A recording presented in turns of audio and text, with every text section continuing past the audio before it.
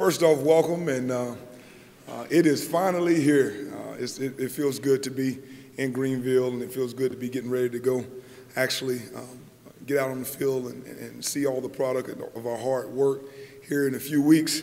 I want to start by saying special thanks to our training room. Um, you know, what you have to go through in the all season to keep guys healthy and keep going. I can't say enough about what Jake was able to do.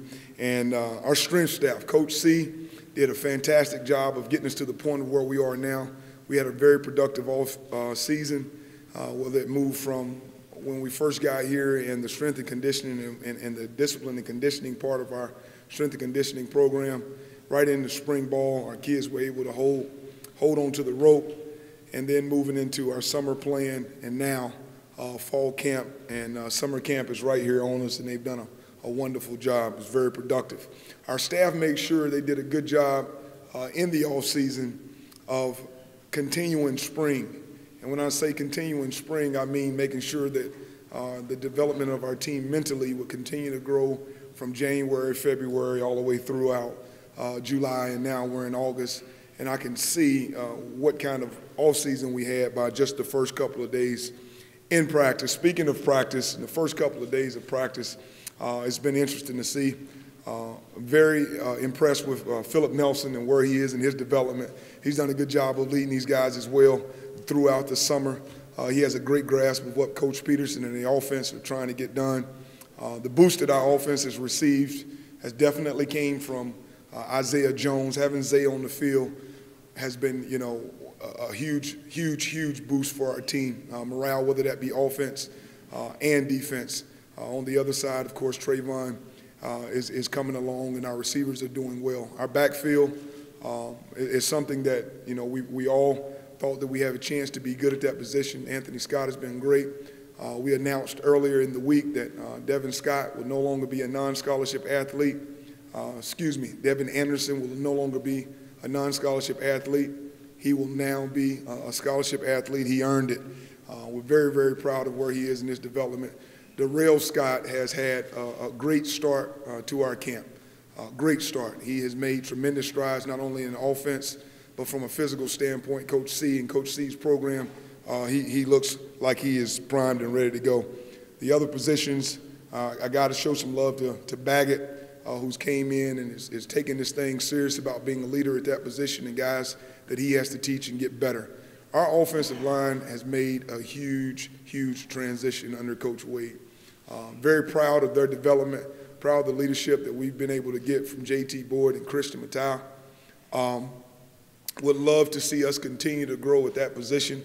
Uh, depth may be an issue for us as we continue to go, but we got guys in now that just have to learn the playbook and mentally where we expect them to be. Moving right over to defense and not trying to spend too much time. Um, but our defense is together. That's the one word that I will have to say about our defense right now. Uh, Coach Thompson and his staff, and they, they have done a tremendous job this offseason of making sure that our guys are playing for one another. I'll say that about them. Uh, I, I, can tell uh, by the development of not only our secondary, but our linebackers, our outside backers, and our defensive front that they have had a very, very productive, uh, productive uh, offseason. Uh, in, in, our front, I think it's going to be anchored right now by Demetrius McGill uh, and Darius Commission. I think they've done a good job this offseason getting themselves to a point of where they can help us. They've uh, graded well in the first couple of days and graded well for the most part when they were out there uh, in the spring. Uh, like where they are, like where they're moving from. Our outside backers have grown a lot. Uh, it's Coach Thompson's position that he coaches, so it's probably the most ridiculed position that we have on our defense, which is the way that it should be if he is coaching that position. Um, Giannis Bowden, uh, and, and, Pratt are doing well. Uh, they're, they're, developing in our scheme very well. At our linebacker position, we have a great competition going on. Um, uh, Jordan Williams, I would say that his offseason was probably one of the more productive that we've seen. Uh, you know, if, if, some of you guys pay attention to, to, some of the things that came out, he was ranked the number 17 freak um, this this offseason, and that's not by happen uh, chance. He is a competitor. Look forward to seeing his development. And our secondary right now, uh, after two days of ball, extremely strong. Uh, Bobby Fulp um, and Simmons have added a dimension to our uh, defense. We're, we're longer, we're faster, we're at the football, we're chasing. uh, great amount of leadership coming from that position. They hold other people accountable, and it makes us feel really good when we got guys on the edges uh, at the corner position that have played uh, a lot of football. And that's what it's all about. We have to continue to develop this team moving forward. Uh, that's what training camp is about. Uh, that is uh, how you know we grow closer as a team. And one of the things we're going to do to grow closer as a team, I think one of the key components of training camp is to develop team unity uh, and, and an identity for the um, upcoming season. Um, we're going to take a trip, and I'm announcing it now.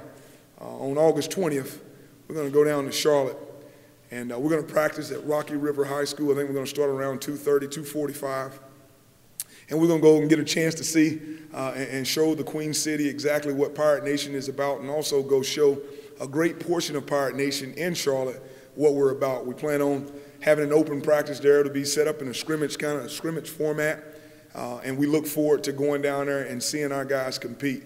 Not only do we bring them, taking them on the road uh, so that we can build our team unity, but it's also, uh, you know, an audition, uh, if you will, for some guys to be in a, in a foreign situation, and in an away situation, and get a chance to play. And uh, we're going to get the coaches off the field and let them go play a little football that day.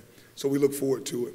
Uh, all in all, uh, we've been pretty fortunate, knock on wood, uh, from an injury standpoint. I'll answer those questions if they come up, uh, but I'll try to keep everything as close to the cuff as I possibly can because uh, some of the stuff I will be guessing and speculating on, and some of the soft tissue stuff I might be guessing and speculating on, so I would rather not do those things.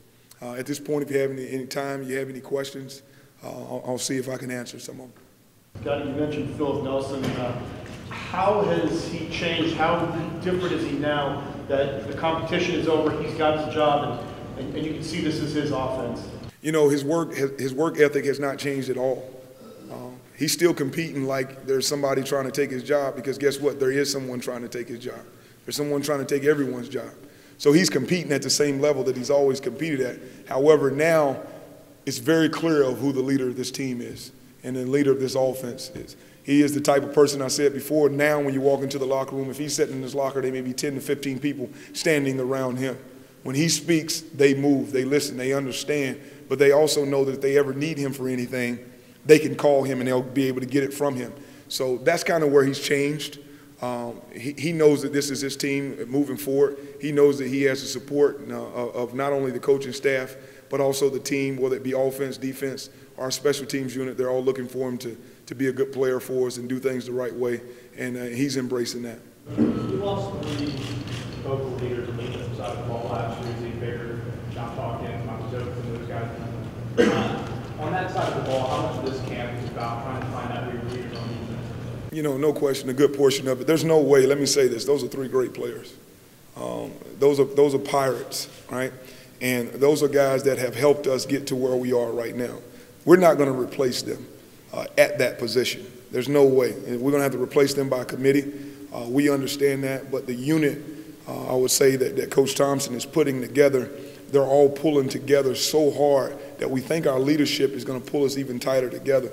I don't, I don't you know, I don't know if we can replace them in a time of a camp, but what I do know is that the things that we teach our guys on the field will make us uh, a better football club uh, now than we were earlier in the spring. So we're going to continue to push that forward.